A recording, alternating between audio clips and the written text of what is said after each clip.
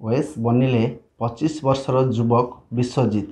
ଆମେ ଏଇ କଥା କହୁଛୁ ଯେ ବିଶ୍ୱଜିତ ଘର ହେଉଛି ଖୋର୍ଦ୍ଧା ଜିଲ୍ଲା ଚିଲିକା ବ୍ଲକ ନଈ ଗ୍ରାମରେ। ବିଶ୍ୱଜିତ ପିଲାଦିନୁ ଯେତେବେଳେ ଚାରି ବର୍ଷ ହେଇଥିଲା ନିଜ ବାପାଙ୍କୁ ହରାଇଛନ୍ତି। ଆଉ ସେ ବାପାଙ୍କୁ ହରାଇଲା ଠାରୁ ଯେଉଁ ଖୋର୍ଦ୍ଧା ଜିଲ୍ଲା ଚିଲିକା ବ୍ଲକ ଅଧୀନ କାଳୁପଡ଼ା ଏରିଆ ରହିଛି ମାତୃବିହାର ଶିକ୍ଷା କେନ୍ଦ୍ର ସେଇ ମାତୃବିହାର ଶିକ୍ଷା କେନ୍ଦ୍ର ଯିଏ ପ୍ରିନ୍ସିପାଲ ତାଙ୍କୁ ଚାରି ବର୍ଷରୁ ଆଣିକି ଏଇଠୁ ପ୍ରଥମରୁ ପାଠ ପଢ଼ାଇଛନ୍ତି ଆଉ ସେ ଆଜି ବନିଛନ୍ତି ଓଡ଼ିଶା ସିଭିଲ୍ ସର୍ଭିସର ଶହେ ଏକାବନତମ ଓଏସ୍ ଅଫିସର। ତାଙ୍କ ସହିତ ଆଲୋଚନା କରିବା। ସ୍ୱାଗତ କରିବି ଅର୍ଗସକୁ। ଆପଣ ଦୁଇ ଦିନ ତଳେ ଓଏସ୍ ରେଜଲ୍ଟ ବାହାରିଛି। ଶହେ ତେପନତମ ଏକାବନତମ ର୍ୟାଙ୍କରେ ବିଜୟ ଲାଭ କରିଛନ୍ତି ଏବଂ ପଦ ପାଇଛନ୍ତି। ଓଡ଼ିଶା ସରକାରଙ୍କର ସେବା କରିବେ ସମାଜର ସେବା କରିବେ ଓଡ଼ିଶା ଲୋକଙ୍କର ସେବା କରି କେମିତି ଲାଗୁଛି? ନିହାତି ତ ବହୁତ ଉତ୍କଣ୍ଠାର ବିଷୟ ଏବଂ ବହୁତ ଖୁସି ମଧ୍ୟ ଲାଗୁଛି।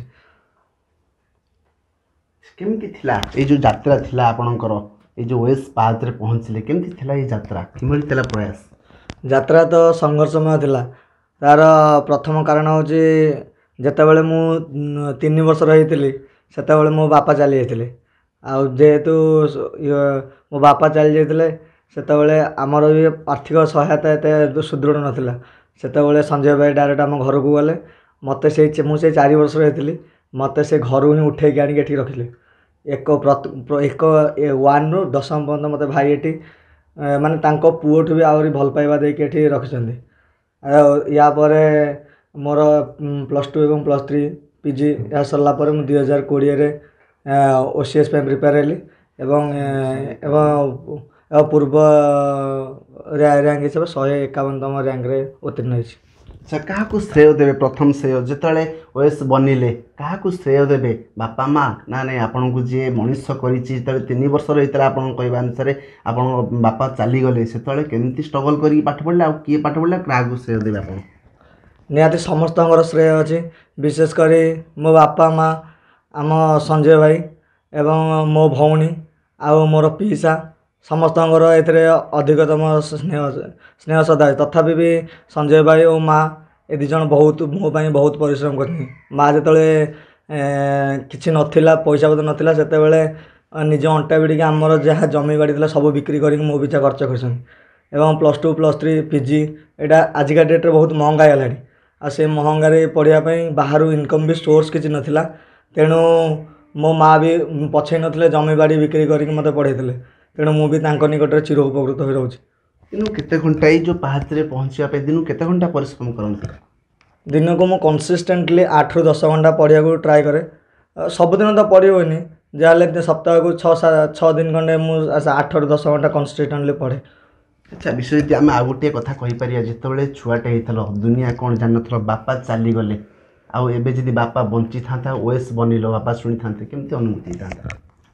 ଏବେ ବି ଆମ ଗାଁରେ ବି କହୁଛନ୍ତି ତୋ ବାପା ଥିଲେ ନାଲିବତରେ ଯାଇଥାନ୍ତେ ଆଉ ତୁ ବି ଅଛୁ ଏବେ ନାଲିବତରେ ଯିବୁ।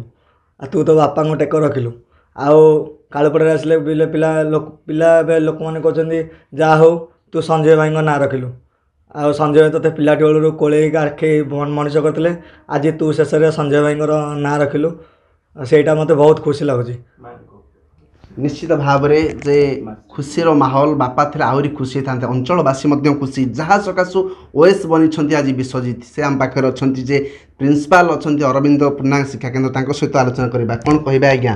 ଆପଣଙ୍କ ଛାତ୍ର ଯେତେବେଳେ ତିନି ବର୍ଷର ହେଇଥିଲା ଛାତ୍ରଟି ତାକୁ ତାଙ୍କ ବାବା ଚାଲି ଯାଇଥିଲେ। ଆପଣ ତାକୁ ଆଣିକି କୋଳେଇ କାଖିକି ପାଠ ପଢ଼େଇ ମଣିଷ କରିଛନ୍ତି। ଆଉ ସେ ଆଜି ଓଏସ୍ ବନିଛନ୍ତି। କେମିତି ଅନୁଭୂତି ରହୁଛି ଆଜ୍ଞା? ନିହାତି ଭାବରେ ବିଶ୍ୱଜିତ ଏଇ ଯେଉଁ ଜାଗାରେ ଆସି ପହଞ୍ଚିଛି। ତାକୁ ଗୋଟେ ପୁଅ ଭଳି ଆମେ ପିଲାଦିନରୁ ସମସ୍ତେ ରଖିଥିଲୁ। ମୁଁ କେବଳ ନୁହେଁ ଆମ ଆଶ୍ରମର ମାତୃବିହାର ଶ୍ରୀ ଅରବିନ୍ଦ ଶିକ୍ଷା କେନ୍ଦ୍ର କାଳୁପୁରା ଘାଟ ଆଶ୍ରମର ସବୁ ବାପା ଭାଇ ତାକୁ ନିଜର ପୁଅ ଭଳି ପାଳି ପାଳିଥିଲେ ଏବଂ ତା'ର ନିଷ୍ଠାପର ଉଦ୍ୟମ ଏବଂ ମା ଶ୍ରୀ ଅରବିନ୍ଦଙ୍କ ଉପରେ ପୂର୍ଣ୍ଣ ଭରସା ତାକୁ ଏ ଜାଗାରେ ଆସି ପହଞ୍ଚେଇଛି। ମୁଁ ଆଶା କରୁଛି ଯେଉଁ ଲକ୍ଷ୍ୟ ଆଦର୍ଶ ନେଇ ସେଠାରେ ଗଢ଼ି ଉଠିଛି ଆଉ ଆମର କର୍ତ୍ତବ୍ୟ କେବଳ କରିଛୁ। କେବଳ ଆମର କର୍ତ୍ତବ୍ୟ କରିଛୁ। ତା'ର ନିଜସ୍ୱ ନିଷ୍ଠାପର ଉଦ୍ୟମ ଏବଂ ଭଗବାନଙ୍କ ଉପରେ ମାଙ୍କ ଉପରେ ପୂର୍ଣ୍ଣ ଭରସା ତାକୁ ଏ- ଏ ଯାବତ୍ ଆଣିଛି ଏବଂ ଭବିଷ୍ୟତରେ ମୁଁ ଆଶା କରୁଛି ସେହି ଲକ୍ଷ୍ୟ ଆଦର୍ଶକୁ ନେଇ ତା'ର ଜୀବନକୁ ଗଠନ କରିବ ଏବଂ ସମାଜ ପାଇଁ ଦେଶ ପାଇଁ ସେ ନିଶ୍ଚିତ ରୂପେ କାର୍ଯ୍ୟ କରିବ ଏ ବିଶ୍ୱାସ ଦୃଢ଼ ବିଶ୍ୱାସ ମୋର ଅଛି। ନିଶ୍ଚିତ ଭାବରେ ପ୍ରିନ୍ସିପାଲ ଯାହା ଦେଉଥିଲେ ଯେ ଭଗବାନଙ୍କର ଆଶୀର୍ବାଦ ଆଉ ତାର କଠିନ ପରିଶ୍ରମରେ ସେ ଆଜି ଓଏସ୍ ବନିଛନ୍ତି। ଆମେ ଆଉଥରେ ବି ଆସିବା। ବିଶ୍ୱଜିତ ବିଶ୍ୱଜିତ ଆପଣଙ୍କୁ ଆଉ ଗୋଟେ କଥା ପଚାରିବାକୁ ଚାହିଁବି। ଆଉ ଗୋଟେ କଥା ଜାଣିବାକୁ ଚାହିଁବି। ସମାଜକୁ କି ବାର୍ତ୍ତା ରହିବ? ଯେଉଁଭଳି ବୟସରେ ଆପଣ ଯୋଉ ଯୁବ ଓଏସ୍ ବନିଲେ ସମାଜକୁ କି ବାର୍ତ୍ତା ରହିବ? ବିଶେଷ କରି ମୁଁ ପିଲାଟି ବେଳରୁ ଯେଉଁ ଶ୍ରୀମା ଶ୍ରୀରବୀନ୍ଦ୍ରଙ୍କର ଅନୁପ୍ରାଣୀରେ ଅନୁପ୍ରାଣିତ ହୋଇଆସିଛି ମା ଶ୍ରୀରବୀନ୍ଦ୍ରଙ୍କ ଧାରା ହିସାବରେ ସଦା ସଦା ସଚ୍ଚୋଟ ରହିବି ସଦା ନିରବଚ୍ଛନ୍ନ ରହିବି ସବୁ କାମକୁ ଆଗ୍ରହର ସହିତ କରିବି ଏବଂ ବିଶେଷ କରି ସୋସାଇଟିରେ ଯେଉଁ ଏଜୁକେସନ୍ ହେଉ କିମ୍ବା ହେଲ୍ଥ କେୟାର ସେକ୍ଟର ହେଉ ରୋଡ଼ ୱାଟର ଯେତିକି ଯାହା ଡିଷ୍ଟର୍ବାନ୍ସ ଅଛି ତାକୁ ମୁଁ କ୍ଲାରିଫାଏ କରିବାକୁ ଟ୍ରାଏ କରିବି। ନିଶ୍ଚିତ ଭାବରେ ଯେ ଲୋକଙ୍କର ସେବା କରିବେ ଆଉ ସମାଜରେ ଯାହା ବି ଅଛି କାର୍ଯ୍ୟକଳାପ ତାକୁ ମଧ୍ୟ ତ୍ୱରାନ୍ୱିତ କରିବେ ବୋଲି ଆମକୁ ବିଶ୍ୱଜିତ କହୁଥିଲେ।